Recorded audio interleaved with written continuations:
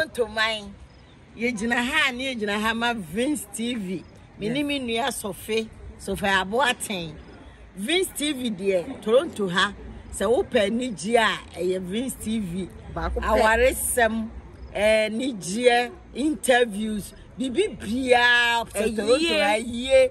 Wedding wopɛ sɛ wobɔ ho dawuro a ɛyɛ Baby Vince shower. TV, yes everything. Yes. Vince tv sɛ wokwate vince tv a na kyerɛ sɛ woayera kwan. Vince tv deɛ no size. No size. Nti wowɔ toronto ha nko adeɛ a ɛwɔ sɛ wo follow vince tv youtube uh, instagram uh, facebook baabi a ɛyɛ vince tv number one no size. Social media, everything biara, every social media is handle. Vince TV. yes. Just yes. watch in uh, vince tv subscribe everywhere. like it and Yes. then we go forward Sweetie, Everywhere. we love you vince tv all the way Mwah. If she had dressed in her traditional regalia, I'd have made her come and join you where you're seated. Unfortunately, she, I don't think she brought her, her, her, her Queen Motherly uh, accoutrements. but let me acknowledge you and thank you very much for joining us. We know that um, you're not supposed to do uh, politics as the Supreme Court has said and our Constitution says, but um, we are happy that you've taken time to come and lend your presence to this uh, occasion. And so we, we are grateful. I have several friends and relatives.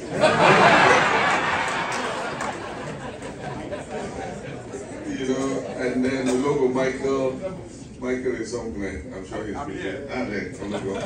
Apia Kubi himself, you know. I'm here. Dr. Selom, Dr. Selom should be somewhere here. He's doing wonders in Ghana. Yeah, look at him at the back. He's doing it from the United States because of this event. You know, and so welcome. And Mr. Johnson should be somewhere. Yeah, Mr. Johnson, hi, how are you? Good, good, good. Thank you. And indeed, so many people that I cannot uh, all acknowledge. But let me acknowledge my entourage. Dr. Callistus is my administrator in my office, and um, he is in charge for directing me, you know, what to do. Uh, Stan Dogbe should be somewhere. He handles media and communications and logistics. And so Stan, shout out.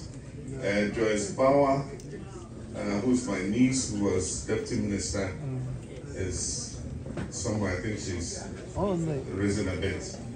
And um, I have um, uh, Francis, my photographer, presidential photographer, who, who got married just recently. and so he didn't finish his honeymoon when I took him and brought him here. So we'll go back and he'll complete the honeymoon. and then we have Malik, the videographer, who's here with us too. But aside from that, I also have, um, I consider them my children. My, my friend who is late, you know, Osi was a very close family friend. His two kids are here, Kwesi and uh, Nanama. I'm sure they're in the back there. Okay, good. Shout out. And then my son, uh, JC is here. He's in university in Toronto. Yeah, so he's joined your ranks. How do you call people from Toronto?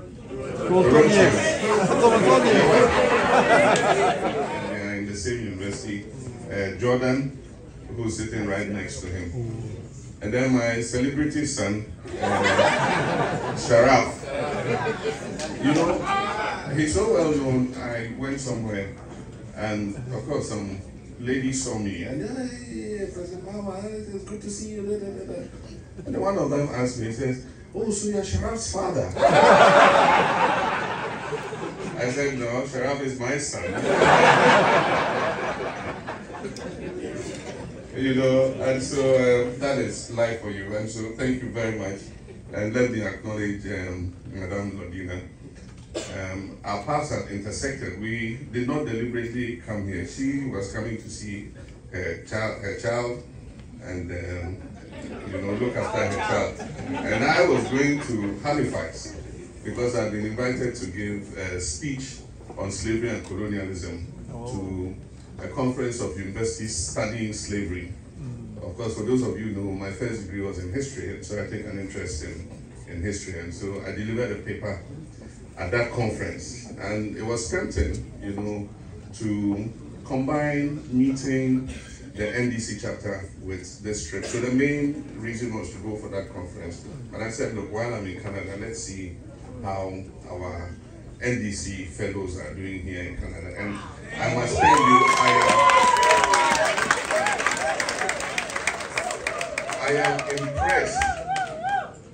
In Ghana, most people have the thinking that NDC is not very vibrant here in, in, in Canada. Go and tell them that, look, we have a very strong, vibrant, energetic, enthusiastic chapter here in Canada.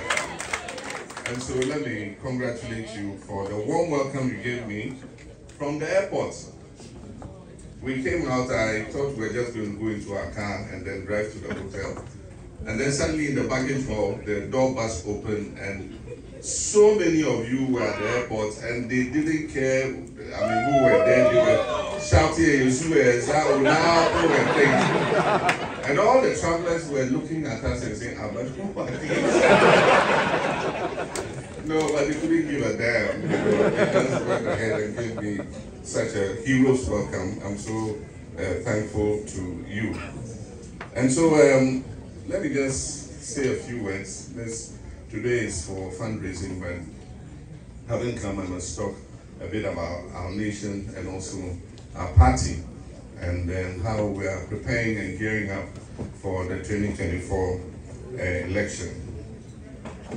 We all know that in 1992, the fourth Republican Constitution was passed.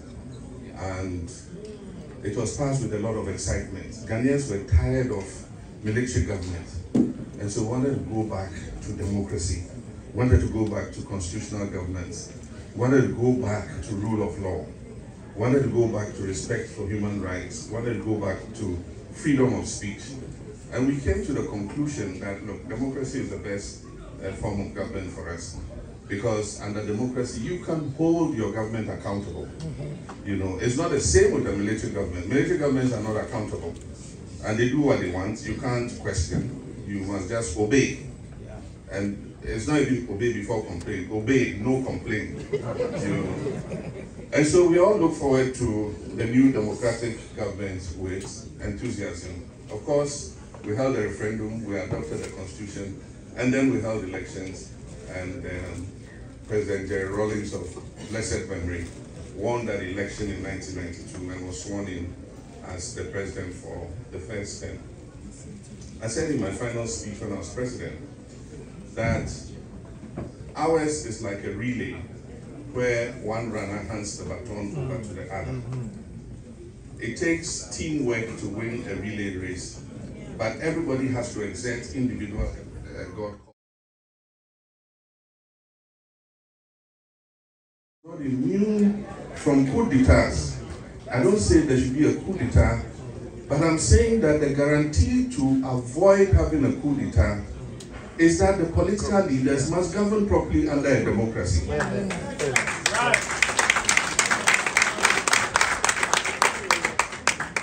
We must eschew the arrogance. If you are elected, I know anytime I say this, they say don't go and bring that your father for all, father for all matter. You know, but we have look my wife's money. I think the father for all is what is taking uh, you know. But we have just one nation and we want to make it better for those of us who are back home and for those of you who are here. So that when you come back home eventually, Yeah. you come and meet a, a country that is prospering, that is conducive for business, is conducive for retiring, is conducive for whatever you want to come and do. And that is why we need to work hard to make sure that, you know, we change the course. They thought that governance was an easy thing. I mean, can you imagine that Nana Akufo-Addo said that? I will transform this nation in 18 months. Yes, he transformed the nation, but he transformed it negatively. He took us back. And so we were vilified, but they say vindication lies in the bosom of time. And so my response when I handed over in 2016 was that I leave it to posterity to judge. Because there was nothing else I could do. You know, I'd lost the election, so here you are. Posterity will judge if I did my best or I didn't. And um, when you read the Old Testament, God's vengeance used to come after generations. I think God has gone digital. And so now he delivers the judgment very quickly, very quickly, sharp, sharp. Chop, chop. And so when I told them, I said, you've not been in government before, you don't know what it is like to be president. You know, they did not understand. Today, I'm sure they understand Oh, yeah. that it was not an easy walk in the park. And so we have to work hard. 2024 is a battle for the soul of our nation. 2024 is a battle for the future of our nation. And so it's one of the most critical elections we're ever going to have in the history of the Fourth Republic. Currently, our country is going through some of the harshest economic crisis we've ever had in history. We have gone bankrupt. We've declared default that we can't pay our debts. So we're asking our creditors to forgive us some of our debts. The domestic debt exchange has been done, and people have had to take haircuts. When we said there was going to be haircuts, the president said there will be no haircuts. And today we all know that that was not true. There have been haircuts. Poor pensioners are having to struggle because they cannot lay hands on the investments that they did. You all here know that the safest investment you can make is in a government instrument. I mean, there's no way government will ever renege on an instrument that you have invested in. But unfortunately, in Ghana, we have learned the harsh way that it was all a mistake.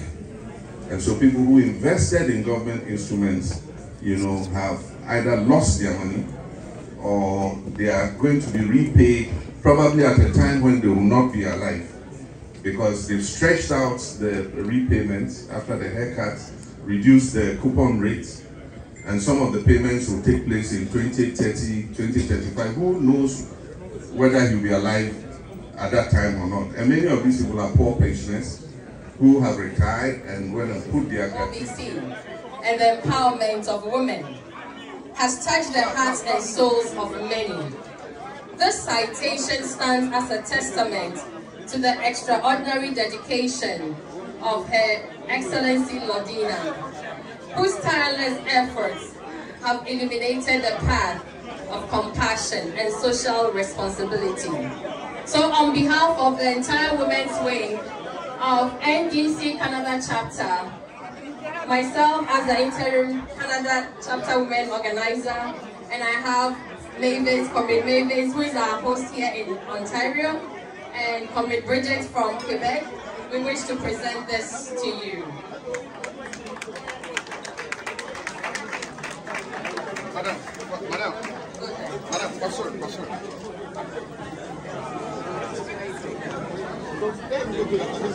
Thank you very much. Another round of applause, please. This is our incoming First Lady. Can you, you can do a better job. That's better. Thank you.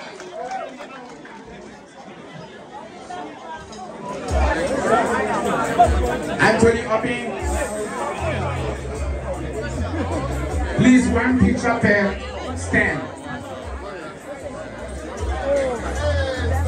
Anil Esumai. Esumai. Anil. Ebenezer Opping. Ebenezer Opping. Samuel Hager. Samuel Hager. Doug Scott. Doug Scott. King Vincent Bates. Betty Impetia, Betty Impetia, pay your money. Betty Impetia, Samuel Daku. Samuel Daku, pay your money. Betty, pay your money. Samuel, pay your money.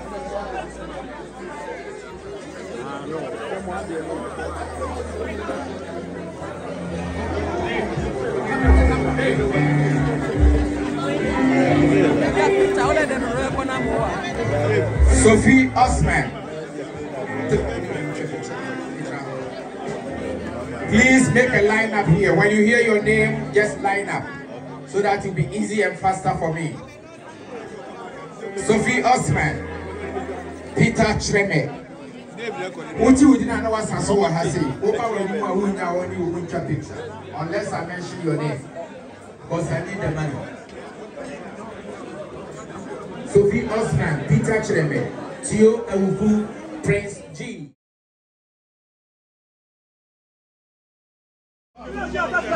French bar, na meka French paa les gens qui viennent de mon pays Québec vous êtes bienvenus. Rémi wa fẹ́ yà yà kí o ti. Yachu au tipo. Ah, c'est vrai. Ça me rend.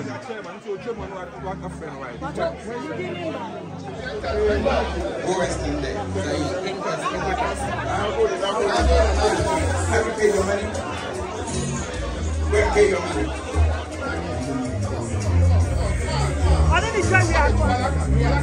Thank you.